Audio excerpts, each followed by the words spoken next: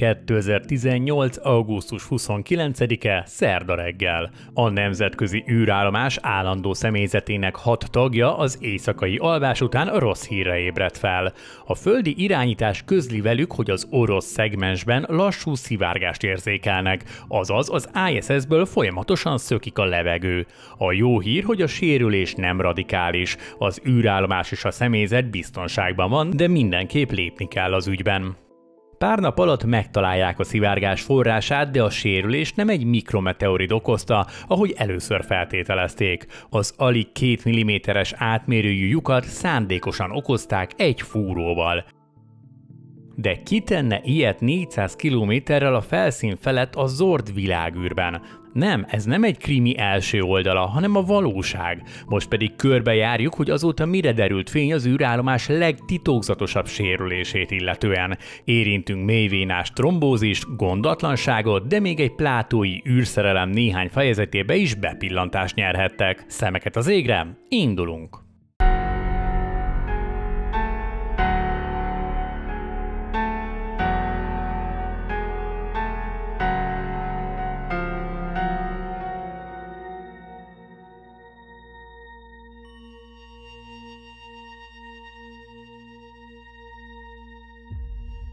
2018-ban a nemzetközi űrállomásra kizárólag Soyuz rakétákra szerelt Soyuz űrhajókkal voltak képesek embereket szállítani.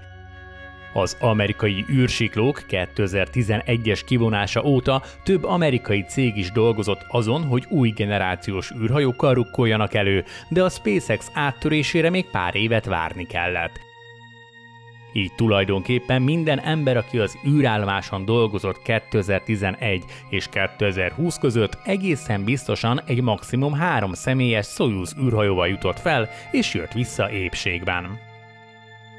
2018. augusztusában hatan voltak az űrállomáson, három amerikai, két orosz és egy német állampolgár, akik együttesen alkották az ISS 56. állandó személyzetét. 29-én jelezték a műszerek a földi irányítóknak, hogy valami nincsen rendben. Egy ekkora űrbéli szerkezetnél elengedhetetlenek az érzékelők, amik a légnyomáson kívül a hőmérsékletet, a pártartalmat, de még a légkör összetételét is folyamatosan ellenőrzik. Az egyik légnyomást mérő szenzor jelezte, hogy az orosz szegmensben kismértékű, de folyamatos légnyomás csökkenés állt be, aminek egyetlen oka egy repedés vagy lyuk lehet, ahol szabadon szökik a levegő az ISS belsejéből ki a világűrbe. A hollywoodi filmekkel ellentétben egy apró lyuk nem okoz végzetes katasztrófát egy űrjárművön, egy ekkora sérülésnél több hét alatt esett volna csak le a légnyomás olyan szintre, ami már esetleg veszélyeztetheti az űrhajósok egészségét.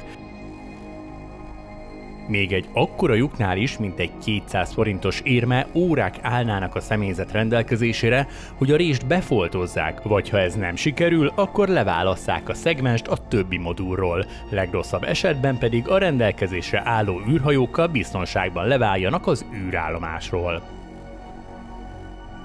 Az észlelt szivárgás olyan kismértékű volt, hogy az űrhajósokat fel sem ébresztették, hiszen a számok egyértelműen jelezték, az elkövetkező órákban sem várható a folyamat felgyorsulása vagy a körülmények romlása.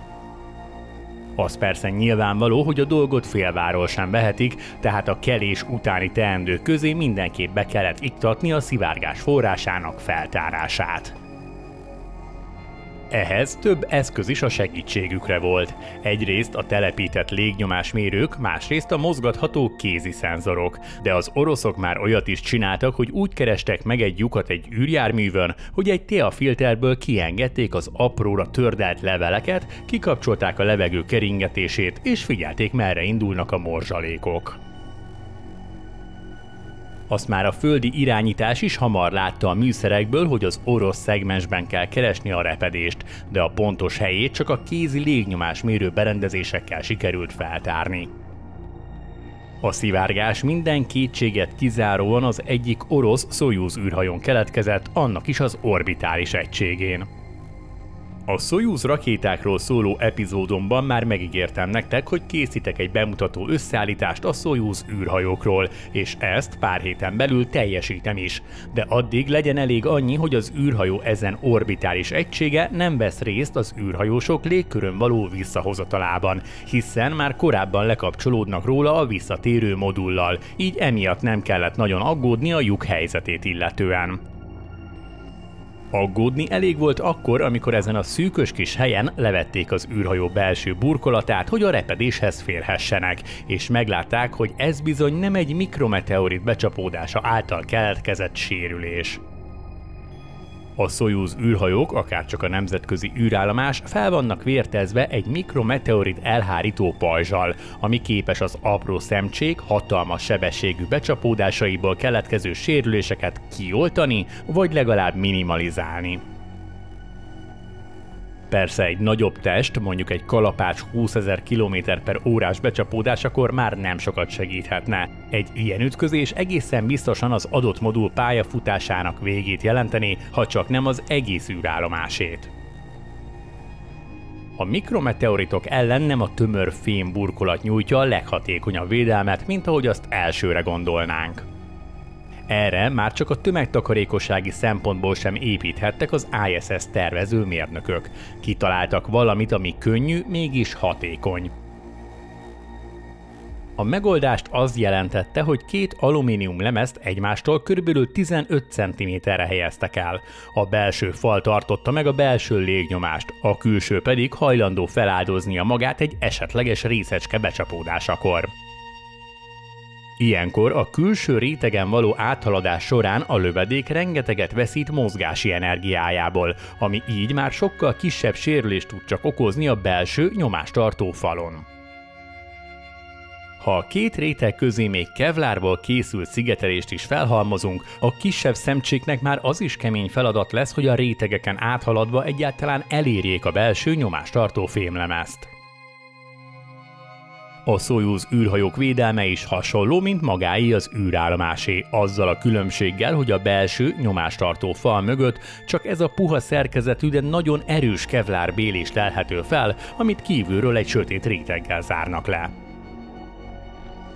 Bár a nemzetközi űrállomást már számos alkalommal eltalálta valamilyen űrben keringő szemcse, olyan sérülést még egyszer sem tapasztaltak a több mint 20 éves üzemelés folyamán, ami átjukasztotta volna az űrállomás vagy egy űrhajó belső burkolatát. Persze az, hogy még nem volt ilyen, nem azt jelenti, hogy nem is következhet be. Így pedig sokkal inkább megdöbbentő lehetett, amikor az űrhajósok meglátták a baj forrását a lebontott szigetelés alatt. Egy körülbelül 2 mm-es lyukat találtak, amit egy ember fúróval okozott szándékosan.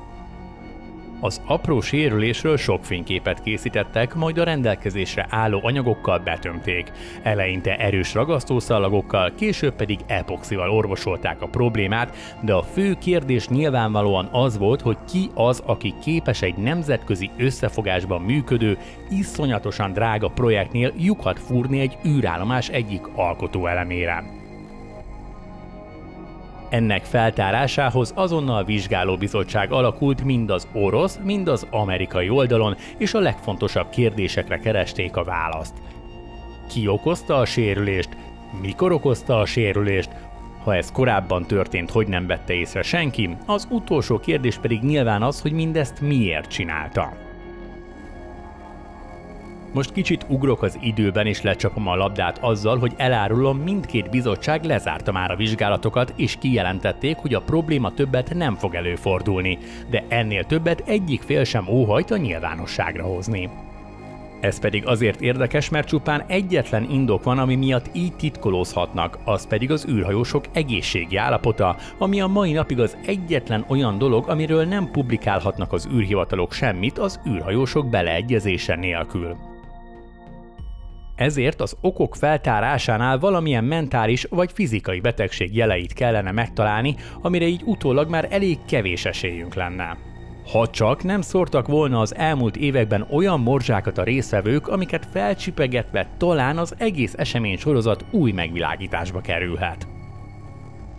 Na, térjünk is vissza 2018-ba. Az első körökben, ahogy az előre megjósolható volt, az oroszok az amerikaiakat, az amerikaiak az oroszokat okolták.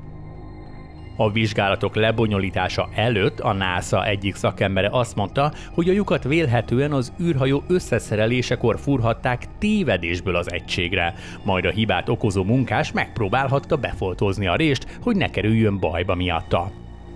A befoltozott egységgel felmentek az űrhajósok, ami pár hét után elengedett, és újra szabaddá vált az alig 2 mm-es sérülés. Na, én erre azt mondom, hogy ez egészen kerek sztori, de még így is iszonyatosan meredek. Azt feltételezni, hogy az oroszok úgy építik meg ezeket a 100 millió dolláros űrhajókat, hogy néha véletlenül belefúrnak vagy belevágnak, amit utána el is lehet tusolni, minimum félelmetes. Az orosz fél természetesen azonnal elutasította a vádakat, ráadásul egy egészen világosan érthető indokkal. Az űrhajó ezen elemének gyártása során nem használnak fúrót, így semmi keresni valója egy ilyen eszköznek a közelbe majd az orosz fél azonnal ellentámadásba kezdve arra a következtetésre jutott, hogy épp ez bizonyítja, hogy a lyuk már az űrben keletkezett, amiért pedig kizárólag az amerikai űrhajósok tehetők felelőssé. Igen, és ekkor még nyoma sem volt a napjainkban is elhúzódó borzalmas orosz-ukrán háborúnak és az azokhoz köthető szankcióknak. Amíg az orosz és az amerikai űrhajósok a világűrben egy esetleges vészhelyzet alkalmával életüket kockáztatva segítenék a másikat, addig az űrhivatalok vezetői minden eszközt bevetettek már akkor is, hogy a közvélemény befolyásolják, akár a sárdobálás szintjére süllyedve is. Zárójeles történet, hogy 2008-ban, amikor először fordult elő, hogy egy Soyuz űrhajóban két nő és egy férfi ült a visszatérésnél, valamilyen probléma lépett fel. A landolásra kijelölt zónától több mint 400 kilométerre értek földet, és a nehézségi erő is nagyobb volt a vártnál, amitől a dél-koreai űrhajós nő nyaki és könnyebb gerincsérüléseket is elszenvedett. Még el sem kezdődtek a vizsgálatok, amikor az orosz űrhivatal akkori vezetője, Anatoly Perminov kijelentette, hogy ezért nem szerencsés, ha több nő ül egy ilyen járművön, mint férfi. A kivizsgálás végül feltárta, hogy az anomáliát a szervizmodul nem rendeltetésszerű leválása okozta. Természetesen egyik űrhajó sem volt érte okolható. De Perminov a kijelentése után nem egy hatalmas rúgást kapott a hátsójára, hanem még évekig ő igazgatta a Roszkozmoszt. Szóval néha ilyen is belefér az oroszok szerint. Szóval az oroszok az amerikai űrhajósokra mutogattak, és felhívták a figyelmet egy fontos részletre, nevezetesen, hogy a lyuk mellett kisebb karcolások és más fúrások nyomai is fellelhetőek. Olyan, mintha elsőre vagy még másodikra sem sikerült volna elkapni a fúróval a lemezt, ami megcsúszva így többször is felsértette a burkolatot. Ez pedig valóban utalhat arra, hogy a fúrást súlytalanságban végezték el, ahol nehezebb olyan fix pozícióban nyomást kifejteni a szerkezet falára, mintha ugyanezt a földön próbálnánk meg. Erre az amerikaiak azzal álltak elő, hogy lehet, hogy nem a gyártáskor keletkezett a lyuk, hanem a végszerelés vagy a szállítás alatt. De erre az orosz fél mondhatta nyugodt szívvel, hogy ezek a helyszínek szigorúan őrzött területek, ráadásul rommá vannak kamerázva. De ha mégis ilyen történt volna, azt kizárólag egy amerikai tehette, aki hibát szeretett volna előidézni egy konkurens ország járművén. Persze erre pedig az amerikaiak mondhatták, hogy nincs olyan elvetemült amerikai mérnök, aki csak azért épülne be a Roszkozmoszba, hogy ott egy olyan űrhajót fúrjon meg, amin egy honfitársa is helyet kap majd. A vizsgálat része volt, hogy a lyukat ne csak belülről, hanem kívülről is szemrevételezzék. Ezért egy előre nem tervezett űrséta során két orosz űrhajó szkafanderben közelítette meg a Soyuz űrhajó kérdéses külső burkolatát, amit egy hétköznapi bozót vágó másettével gyorsan fel is nyitottak. Elég szürreális látvány volt, amikor élőben néztem, ahogy az űrhajósok épp a védelmük érdekében épült kevlár burkolatot kaszabolják. A lyukról több videót és nagy felbontású képeket is készítettek, sőt, mintát vettek a körülötte található kevlárból is, amit visszahoztak későbbi vizsgálatokra. Az űrséta pedig minden kétséget kizáróan azt bizonyította, hogy a lyukat fúrás okozta, amit bentről kifelé irányba hajtottak végre. Mivel a veszély elhárult és a lyuk egyáltalán nem jelentett biztonsági rést a visszatérés során sem, ezért az űrállomáson pár hónap után helyreállt a rend. Az űrhajósok nem civakodtak, nem vádolgattak, nem találgattak, vagy ha igen, akkor az kultúrát körülmények között tették, amiről így nem szerzett tudomás senki más. Az állandó személyzet háromfős csapata, akik 2018. júniusában érkeztek az űrállomásra, december 20-án tértek vissza a sérült MS-09 fedélzetén, ami remekül működött és biztonságban szállította az űrhajósokat a kazak sztyeppére. A vizsgálatok befejeztével az oroszok először azt hajtogatták, hogy az a Serena Anion Chancellor a felelős, aki az MS-09 űrhajóval repült.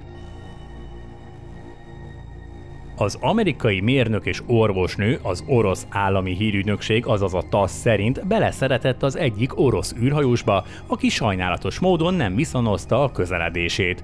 Emiatt pedig Serena maga fúrta meg az űrhajót, hogy ezzel a nem radikális hibával kikényszerítse, hogy előbb jusson vissza a földre. A vádakat a NASA azonnal visszautasította, mivel kijelentették, hogy pontosan tudják, melyik űrhajósuk hol tartózkodott abban a pillanatban, amikor a légnyomás esni kezdett, így a szerelmi csalódás is hamar margon kívülre került. Érdekes módon az utolsó használható információk is az amerikai űrhajós nőre terelték a gyanút, ugyanis az orosz fél vizsgálatának lezárása után nem hozták nyilvánosságra a részleteket, de azt elmondták, hogy az egyik amerikai űrhajós mélyvénás trombózisban szenvedett, azaz a világűrben kialakult egy vérrög a nyakában.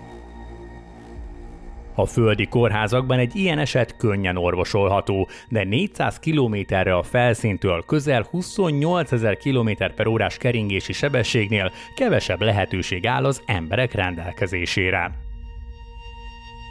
A meg nem erősített orosz információk szerint ez a meg nem nevezett amerikai űrhajós hosszú heteken át kezelte magát vérhigító injekciókkal és rendszeres ultrahangos vizsgálatokkal ellenőrizték az állapotát, amibe valószínűleg belefáradt, és vélhetően emiatt fúrt lyukat az űrhajóba, hogy ennek okán, ha nem is azonnali, de egy idő előtti visszatérést kelljen végrehajtaniuk.